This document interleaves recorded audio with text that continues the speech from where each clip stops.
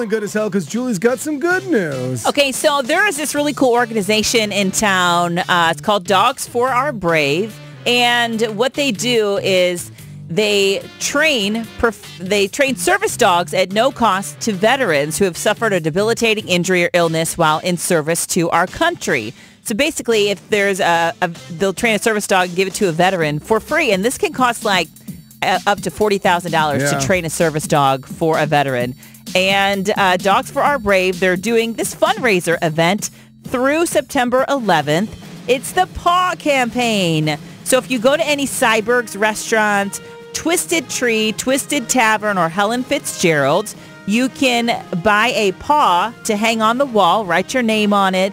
The fundraiser is leading up to their annual Sip and Savor event. So that happens the rest of the week. Just go eat at any Syberg's. Get some of those delicious wings they have. Uh, Twisted Tree, Twisted Tavern, Helen Fitzgerald's, and help Dogs for Our Brave. If you want to find out more or donate to them and support our veterans, it's dfob.org.